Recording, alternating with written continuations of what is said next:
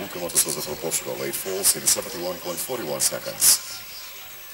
Recordo que o tempo a bater pertence para já a Alexandre Mascarenhas Lemos por Portugal com Angel Z, percurso sem faltas, tempo 62 segundos 98 centésimos.